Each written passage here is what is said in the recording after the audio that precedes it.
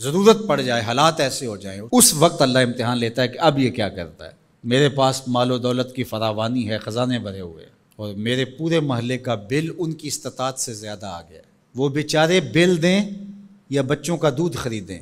अब इम्तहान आया था सेठ साहब का, अब इम्तहान आया था अमीर शहर का, अब इम्तहान आया था इस दौलतमंद का। इमाम शाफी फरमाते हैं नक्स अमवाल का मफहूम ये है, अल्लाह अब परखता है कि अब ये तजोरियाँ खोलता है या अब ये मौके से फ़ायदा हासिल करके मज़ीद दौलत इकट्ठी करता है।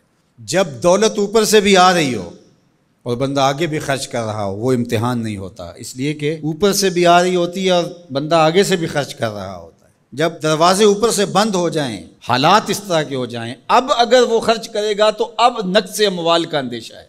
तो कहा, ये था इम्तिहान। अल्लाह देखता है कि इस इम्तिहान में कौन पूरा निकलता है। ये अल्लाह आजमाता है, इस वक्त आजमाइश है अमीरों की। गरीबों की तो है ही है। गरीब तो बेचारे मर गए हैं, उनके पास ही कुछ नहीं रहा। उनकी तो ज़िंदगी जहरनाक हो गई है। वो तो जिस हालत में है अलियाज़ बिल्ला। लेकिन उससे बड़ा इम्तहान उमरा का है, अहल सरफत का है।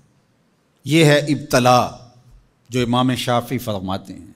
फरमा इस मौके पर नफली खैरात करके वो अपने भाइयों को, रिश्तेदारों को, गली मोहल्ले के लोगों को अब क्या वो मदद करके उनको मुश्किल से निकाल सकते हैं? और अब वो निकालेंगे तो उन्हें खुद भी डर है कि हम भी कमज़ोर हो जाएँगे, हम भी इनकी लाइन में खड़े हो जाएँगे। अल्लाह फरमाता, यही तो हमने तुमसे इम्तिहान लेना था। और अगर तुम इम्तिहान दे देते, कामयाब हो जाते, तुम्हें उस लाइन में ना आने देते, उनको भी उठा के अल्लाह ऊपर कर देता।